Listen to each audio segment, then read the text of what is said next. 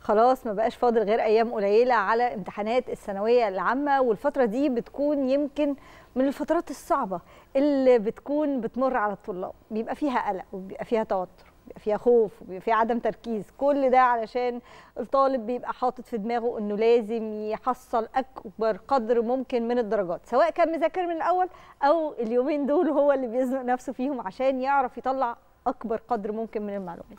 طبعا الموضوع بيختلف بكل تأكيد من طالب لطالب. في طالب شخصيته أصلا هادي في طالب شخصيته أصلا متوتر مهما كان زي ما كانت منا بتقول كده بيذاكر من أول السنة لكنه بيجي الفترة دي بيرتبك شوية. إزاي طلاب الثانوية العامة يتخلصوا من هذا التوتر؟ إزاي قبل الامتحانات؟ هل في طرق معينة عشان الطالب يحل الامتحان بسهولة؟ كل هذه الأسئلة هنعرف إجاباتها دلوقتي من ضيفنا اللي منورنا في الاستوديو الدكتور حسن شحاتة أستاذ تطوير المناهج بكلية التربيه جامعة عين شمس. صباح الخير عليك يا دكتور. صباح الخير يا فندم. يا أهلا بيك يا فندم. منورنا يا دكتور وصباح الخير على حضرتك.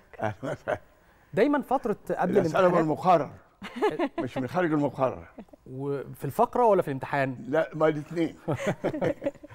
طيب دايما قبل الامتحانات بيبقى معروف إن بيكون في آه، شد بيبقى. في توتر سواء من الطالب أو من أولياء الأمور. طبيعي. آه طيب هل في توتر مقبول؟ هل في درجات مثلا في التوتر؟ فالطالب مثلا آه، بيقلق لأنه طبيعي داخل على امتحان الثانوية العامة بيحدد مستقبله بي بيرسم ملامح مستقبله عايز كلية معينة مثلا فلازم يحصل آه، درجات معينة. هل في توتر مقبول وإزاي الطلاب يتخلصوا من التوتر سواء كانوا الطلاب أو حتى أولياء الأمور؟ شوف حضرتك أستاذ شاذلي الاستاذه منى ال- القلق زي الملح. أما يزيد عن حده ينقلب ضده تمام. لابد يبقى في قلق. مم. لابد يبقى في قلق. والقلق ده مشروع.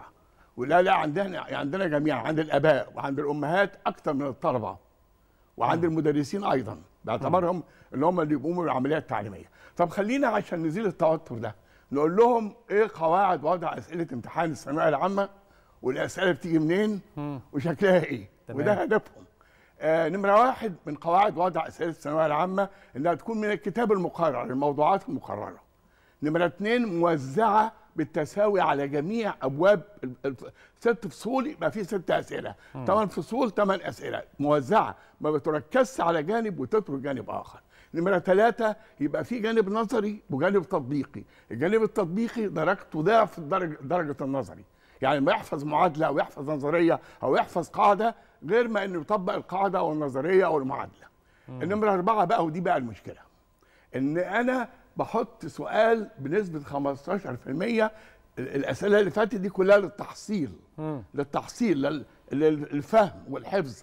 لكن الأسئلة بقى. السؤال الوحيد المركب اللي فيه 15% اللي فيه معلومات قديمة ومعلومات جديدة اللي بيحتاج لاكثر لتفكير شوية ده السؤال اللي بيقف عند الطلاب. هي القاعدة إيه؟ الطلبة بيجاوبوا بس هم عاوزين يقفلوا. مش ممكن يقفلوا زي ما حضرتك قلت لأن قدراتهم متسا... غير غير متساوية ولأن إمكانياتهم غير متساوية. طيب آه الأسئلة بتيجي منين؟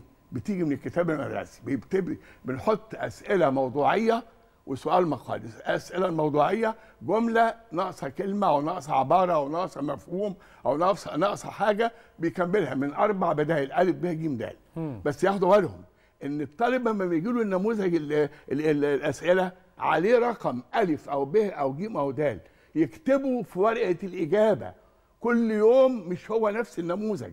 يعني ممكن يجي له نموذج ب مرة ونموذج ألف مرة ونموذج ج. ليه بقى؟ لو ما كتبش رقم النموذج أو كتبه غلط عشان تصحيح. هيصحح غلط هياخد صفر. فلازم يحط رقم النموذج. اللي موجود في السؤال آه، ورقه الأسئلة في ال bubble sheet. اهي دي بقى اللي تخوف. في ال bubble sheet. هي دي بقى اللي تخوف. لو هو ما كتبش نموذج الإجابة ألف ولا ب ولا ج هياخد صفر. هل طبيعي إنه يكون. الطالب حال الامتحان كامل آه بس. بحالها. أنا أقول لحضرتك يا أستاذة منى ما تخافيش. دور المراقب والملاحظ. هي دي الحاجات اللي بتخلي الولاد داخلة ال- ما- متوترة. تخافيش. بيراجع كل حاجة محسوبة. بيراجع اسم الطالب على الرقم ال- ال- القومي بتاعه. وبيراجع رقم ال- ال- ال- الألف أو ب أو ج على على الورقة. ده معناه إيه؟ معناه إن أنا لما أكون معايا ورقة إجابة بابل شيت ومعايا ورقة أسئلة ما هو اللي جنبي ألف رقم واحد عنده غير رقم واحد عندي واللي هنا رقم واحد عنده غير رقم واحد عندي فكون طالب يقول للي جنبه رقم الإجابة بتاعت واحد أربعة أو ثلاثة غلط غلط صح عشان ده. نموذج ليه؟ ده نموذج وده لا، نموذج ده. نموذج وده نموذج وده نموذج أرجوكوا أرجوكوا النموذج رقم النموذج مهم جدا صحيح وضع أكتر من إجابة للسؤال الواحد غلط هيلغيه. بالذات في. الاختيار زي ما المتعدد. تسيبه. طب أنا غلطت في سؤال عاوز أصححه. في آخر البابل شيت موجود مكان يكتب رقم السؤال ويكتب الإجابة السليمة اللي هو عاوزها. فكل حاجة يعني أصل الامتحان ما هوش عملية آه، م- يعني آه، مشكلة بيننا وبين أولياء الأمور. ده المش... الم... أنا عاوز أفرد الامتحان للفرز. يعني إيه الفرز؟ مش للتمرير. كله ينجح. لا للفرز يعني مستوى الطلاب متوسط فوق المتوسط متميز. فلابد إن كل واحد من الطلاب يراعي آه انه ما يحطش أكثر من علامة يراعي النموذج رقم النموذج اللي موجود على ورقه الأسئلة يراعي إن هو أما يغلط يصحح في الآخر. اختبار المقال بقى عشان بالمرة اختبار المقال عبارة عن بيقول له خد بالك وأنت بتكتب المقال هحاسبك على القواعد النحوية على القواعد الإملائية على كتابة الفقرة إزاي كتابة ال- علامات الترقيم فمحطوطة المعايير. أنا أحط أنا وأنا بكتب أحط المعايير وهي فقرة كلها أربع خمس أسطر. صحيح مش حاجة. طب أنا بس عايز أقول آه، في النقطة اللي كانت منى بتتكلم فيها إنه مسألة النموذج ممكن الطالب يكون حل كله صح بس كاتب النموذج غلط فبالتالي ما ينجحش في الامتحان. دي مسؤولية الطالب إنه يكتب لا النموذج مسؤولية مبدئيا. المراقب. واحدة واحدة بس يا فندم. هي مسؤولية المراقب. مسؤولية الطالب في الأول إنه يكتب رقم النموذج والمراقب يعدي يشوف الكلام ده زي ما هي مسؤولية الطالب إنه يكتب اسمه مظبوط. زي ما هي مسؤولية الطالب إنه يكتب رقم الجلوس بتاعه. ما دي حاجات يا جماعة كلنا بنعملها طول حياتنا. ممكن ممكن اصلح طبعاً. سؤالي؟ ممكن أصلح سؤالي. صعب. طب ممكن أصلح سؤالي. أنا مش بقول إن هو مسؤولية الطالب أو غير مسؤولية الطالب. أنا بتكلم في نقطة إنه آه، آه، الضغط العصبي فكرة إنه يا كذا يا كذا.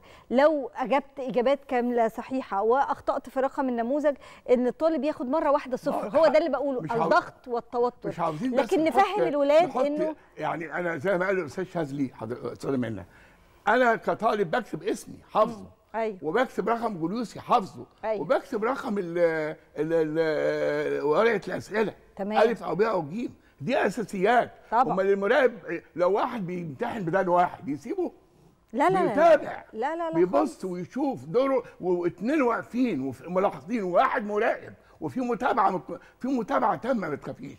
أنا عايز بس أقول لهم عشان نزيل التوتر نعمل إيه؟ اولا الفترة دي زي ما حضرتك قلتي أيام قلائل ويبدا الامتحان أجاوب ما ذاكرش. لكن أذاكر الأسئلة بطريقة ال bubble sheet أجا أذاكر الأسئلة بطريقة ال bubble sheet يعني جو أشوف الأسئلة موجودة في بنك المعرفة بتاعت أربع سنين فاتوا. أربع سنين فاتوا. أشوف الأسئلة هي هي. ما دام الكتاب هو هو. بقاله خمس ست سنين. والأسئلة بتتحط منه. هو كتاب الفيزياء كتاب الكيمياء كتاب اللغة العربية هو نفس الكتاب. اتحط منه أربع مرات أسئلة. زائد المرة دي اتحط أسئلة يبقى خمس مرات. زائد إن في أسئلة تجريبية موجودة عشان الطلبة يغشوا ويعرفوا يجاوبوا إزاي. موجودة في البابل جايد جايد. جاي- جايد. خريطة خلينا- طريق ماشي- ماشي. الطلاب جاي. تت- تمشي عليها عشان تعرف السياق. خلاص. جاي مرشدة إرشا- اسئله إرشادية أيوة. موجودة. طب أنا بقى أما أذاكر أحط قدامي ورقة ف- ف- ما- ما- ما بت- يصور البابل شيت من بنك المعرفة. اللي فيه الدوائر وفيه وياخد ورقة أسئلة من الأسئلة السابقة ويحطها قدامه ويقعد يجاوب ساعتين الثلاث ساعات. ليه بقى؟ لأن تأثير الوضع بتاع الجسم بيأثر على الإجابة. إذا ما كانش بيقعد قبل كده وممسك القلم وبيقعد فترة كبيرة ما يتكلمش مع حد ويركز هيستمر في هذا الحال. في حاجة اسمها العبء المعرفي. يعني إيه العبء المعرفي؟ يعني أنا زي ما بشيلش في معدتي أكتر مما تحتمل ما بشيلش في دماغي إلا معلومات على قدها. يعني ما أقعدش أذاكر 8 ساعات وست ساعات ورا بعض. ما أنا مش هفهم.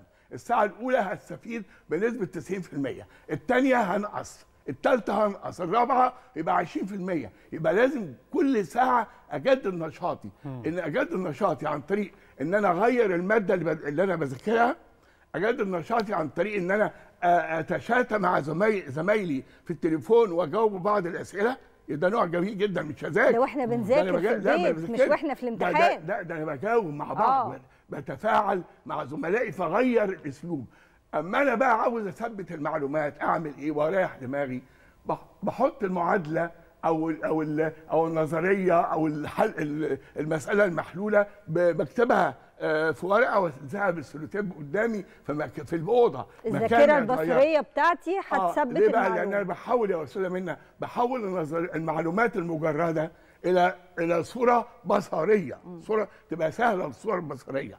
أسجل لنفسي أقرأ وأسجل لنفسي وأسمع التسجيل. أخلي ماما وبابا الحضن الاجتماعي. يقعدوا يناقشوا أيوه مهمة جدا. الأم ال moms حافظين المقررات زي الطلبة بالظبط. لو امتحنتني فيها ال moms، بقى يا ال moms. دكتور هتشوف مني إجابات. كل الامه أي أم اديها منهج وهتشوف هتمتحن إن شاء الله. هم كلهم ضغطوا على الوزارة والوزارة آه، استجابت ورفعت إيديها وحطت لا الأسئلة لا. من كتاب الوزارة. دكتور خلينا نقول حاجة. خلينا نشوف كده روشتة الأسهل لحل الامتحان. البعض بيبتدي بالأسئلة الأسهل ويبقى حاسس إن هو أنجز ويسيب الأصعب للآخر. البعض التاني بيبتدي بالأصعب يخلص كل طاقته اللي في الأول وهو لسه فريش وعنده قدرة على التحدي بيظبط وقته ويسيب الأسهل للآخر. حضرتك مع أنهي لا، هو آه،. طريقة؟ وهل بتختلف من شخص لتاني؟ لا هي منطقي صم... آه، أنا أو غيري أو أي حد منطقي. أنا عندي 40 سؤال أو 45 أو 50 باجي على السؤال الأولاني أقرأ عرفت أجاوبه أجاوبه. الخامس السادس اجاوب اللي أنا عارفها الأول. وأتأكد إن أنا جاوبتها صح. لازم أراجع. لو ما راجعتش أراجع وأنا بحل ولا أراجع آه، بعد ما أخلص؟ أفكر وأنا بح... قبل ما احل واثناء ما بحل وبعد ما احل لأن مراقبة مراقبة ال- التفكير دي مهمة جدا. مراقبة الق- القراءة مهمة جدا. إن أنا وأنا بكتب أركز. قبل ما أكتب اكتب إيه؟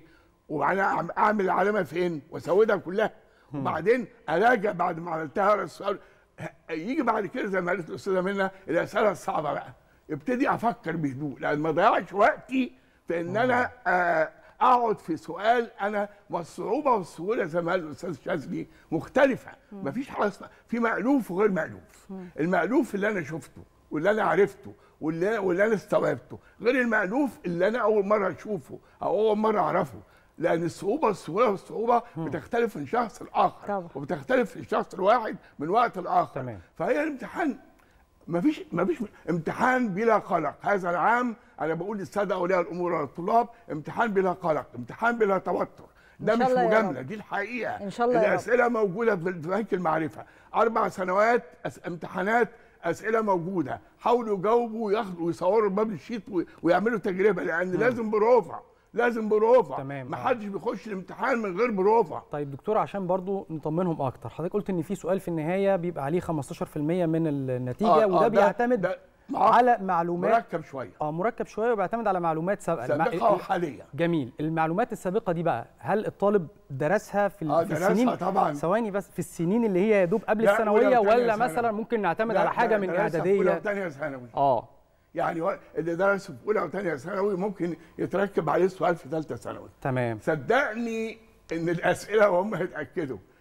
سهلة وميسره ومن الكتاب المدرسي. حتى السؤال ده يعتبر سهل ليه؟ بالنسبة للطالب اللي لأن كان في بيذاكر المدرسي. تمام وبالنسبة للطالب اللي كان بيذاكر للمذاكرة مش بيخلص بس بيذاكر فترة هو الامتحانات عشان يخلص الكلمتين يكتبهم ويمشي لا. أقول للسادة أولياء الأمور حاجة لوجه الله. رغبات الآباء شيء وقدرات الأبناء شيء. صح. فأنا رغبتي إن ابني يطلع الأول. يا عم ده أنا ده قدرات ابني بتطلعه الثالث أو الرابع أو العاشر أو العشرين. فاحترموا بره التصنيف. خالص ساعات كمان. احت- احترموا قدرات ابنائكم بلاش حكاية ذاكر ذاكر. بلاش الأمثلة السلبية. لازم الأمثلة دي لأن النجاح يؤدي إلى النجاح أنت متفوق. ده أنت قبل كده نجحت ده فلان اللي أقل منك خد كذا. أنا متأكدة إن أنت السنة دي هتجيب الفول مارك. إن متأكدة السنة دي هتحقق كذا. ده اللي المفروض نعمله تشجيع ونفضل ننفخ ننفخ آه. ننفخ فالعيال ما تذاكرش خالص. فتقعد بقى وتعتمد على إنها بقت بقى أشطر هو المشكلة الأساسية للتوتر والقلق جاية منين؟ جاية من إنك أنت بتدي امتحان واحد في وقت واحد يحقق يشكل مستقبل الطالب طول عمره اللي هو امتحان الثانوية العامة على مستوى العالم كله امتحان الثانوية العامة شرط أساسي لدخول الجامعة وليس شرطا كافيا لدخول الجامعة. اذا في شروط أخرى لدخول الجامعة بالإضافة إلى النجاح في الثانوية العامة. وزارة التعليم العالي عملت حاجة جميلة. يا ريت تنفذ. في سنة تأهيلية للجامعة أو سنة تمهيدية للجامعة. قطاع الهندسة قطاع الطب قطاع العلوم الإنسانية. بيدرس لمدة سنة. اخد 50% من امتحان الثانوية العامة الفول مارك 50% ما يبقاش في توتر بقى. لأن في امتحان تاني وال 50% التانية أخدها من نهاية السنة التمهيدية أو التهيئة لل واجمع ال- المواد التخصصية بتاعة الهندسة أو الطب أو العلوم الإنسانية زائد الثانوية العامة يدخل بمعيارين يدخل بمعيار التحصيل ومعيار القدرات الخاصة بالتخصص. هنا ما يبقاش في مشكلة في الثانوية العامة لأن مش ده مش الطريق الوحيد ده في طريقين ده 50% وده 50% ال- الجامعة أما توفر للطلاب دراسة زي ما قال الدكتور محمد ايمن عاشور ربنا يوفقه ويوفق الجميع ويجيب لنا رئيس عاوز وعاوز إنسان جديد لمجتمع جديد إنسان يفكر يفكر إنسان فاهم مش حافظ زي ما بنقول. يبدي رأيه.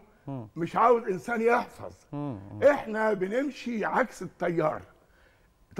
خطاب السيد الرئيس توجهات الدولة. خطاب السيد الرئيس مش من عنده ده نظام الدولة. ده أهداف الدولة. أنا دوري كوزير إن أنا أطبق هذه الأهداف بحيث إن أنا أقيس التفكير. أما الدكتور طارق شوقي ربنا يديله الصحة كان وزير التربية والتعليم وعمل امتحان من خارج الكتاب يقيس القدرات والمهارات. انخفض مستوى ال- ال- ال- الدرجات عند الطلاب 10% ما حدش خد ال 90 نزلوا كلهم. كلهم نزلوا 10 عشان كله كان 10. بيعتمد على المعلومات الموجودة التفكير. آه بيحفظها اما فقط. أما آه، ده الرئيس بيعتمد على بيقول التفكير إنسان. يفكر إنسان يشارك إنسان آه، يحترم ثقافات الشعوب. إنسان لديه رأي رؤية. إنسان آه، ليه فكر. ده المفروض نعمله إحنا. أنا ما أنا ما ما انقلش الطلاب من الثانوية العامة إلى الجامعة. وينجحوا كلهم بدرجات عالية. واحرج الدولة واحرج الحكومة. لا، هو عشان كده بقى يا فندم كلهم واخدين درجات عالية. في كمان يا فندم يقبلوا في في الجامعة. أنا في الجامعة ما أقبلهمش اختبارات قدرات في كتير من الجامعات دلوقتي بقى اختبارات قدرات عشان يشوفوا بصيت حتى لو كان جايب أعدادي طب وإعدادي هندسة تجد ان المتفوقين بيسقطوا. دليل على إن التفوق ده تفوق وهمي وليس تفوق حقيقي. لأن أنا عاوز الدرجات تعبر عن القدرات مش الدرجات جمع درجات لا تعبر عن القدرات. ما اضحكش على أولياء الأمور واقول لها بنتك خدت 90% وهي قدراتها الحقيقية 70% لابد إن جامعات ال- الأهلية جامعات عالمية على أرض مصرية بتقدم برامج جديدة وبتقدم فكر جديد في جانب تطبيقي وجانب نظري بيساعد على الارتباط بسوق العمل. يعني أنا بحت- بحترم الجامعات المصرية 27 جامعة متشكرين لكن الصيغة الجديدة أولياء الأمور يفكروا في الجامعات الأهلية الجامعات التكنولوجية. أنا سعيد ان عشت عصر الرئيس السيسي وجدت هذا التنوع وهذا الزخم من عمرك شفت جامعات أهلية وجامعات تكنولوجية وجامعات أجنبية وجامعات دولية على أرض مصرية. كان كل الجامعات عبارة عن 27 جامعة حكومية. ده الجامعات الحكومية فيها برامج متميزة. البرامج المتميزة بتؤهل لسوق العمل. فيا ريت أولياء الأمور يفكوا الفكر التقليدي اللي عندهم ويفكروا بتفكير جديد والأولاد ما ما ما, ما, ما يزعلوش إن هم جابوا درجات أقل من اللي توقعوها ولأنهم يخشوا جامعات تكنولوجية جامعات أهلية فيها كل آه، جامعات عالمية على أرض مصرية. بتعتبر هناخد من كلام حضرتك يا دكتور. الاهالي كده هدوا بالكم وحالكم. إن شاء الله الأمور طيبة ونهيئ الجو اللطيف المناسب للشغل. الولاد خلاص يعني ده أعتقد الوقت المناسب إن إحنا نحل أكبر قدر ممكن من الأسئلة. ربنا يوفقكم إن شاء الله ويكلل تعبكم إن شاء الله على كل خير. كل الشكر للدكتور حسن شحاتة أستاذ تطوير المناهج بكلية التربية جامعة عين شمس. نورتنا يا دكتور. أهلا وسهلا. شكرا يا فندم. شكرا.